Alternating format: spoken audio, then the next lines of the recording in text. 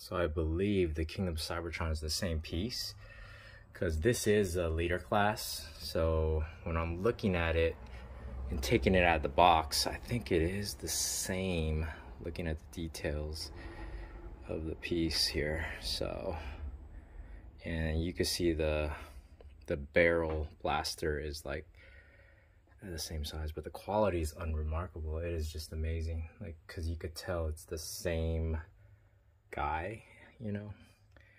The detail is just uncanny. It's like basically a masterpiece, like, cause I have, I mean, obviously the packaging is different, cause if you look here, you know, you could see that uh, the packaging is legacy. It does say Galvatron, but it is leader, leader class. So, so when I take this bad boy and I transform, it's about 33 steps um, looking at it. It does come with the matrix of leadership, as you can see down here. So right there is the matrix of leadership. When I paid for this um, copyrighted Sovereign, I mean, it's like over 200 something aftermarket. But now with Hasbro letting releasing this guy, um, aftermarket value is is quite much. So if you could find them, it's kind of hard to get, but excellent. I mean, when he became Galvatron, he was like way more ruthless than Megatron. Like Megatron was, you know, pretty goofy and stuff. Like Megatron, you know, the masterpiece. Um, he was goofy, but when he became Galvatron, he was like, like you didn't want to mess with him. He was one badass SOB, like literally my favorite character and I, I had to pull the trigger on this guy. I mean the instruction manual looks even amazing. Look at that thing. The artwork, 33 steps. Such a magnificent toy.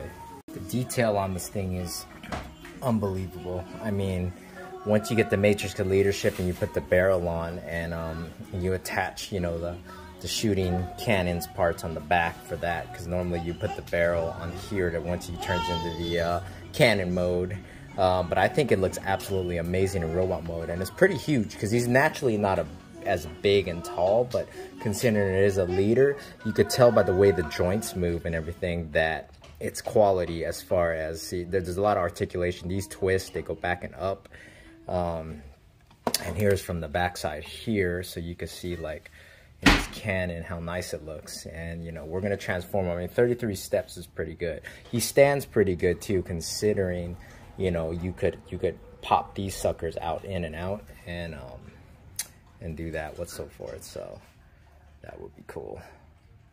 So you could also combine the things that were like on his back that you saw to make like a gun too, which is pretty cool. See, so it's like a double gun or like a big um, pistol style gun.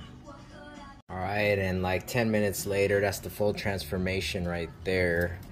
It's pretty awesome because once you get the bottom parts set up, there actually are little wheels. As you can see, the wheels right there. And on the bottom of the, the tank, like arms of his legs, he could roll. So you could like roll it like that.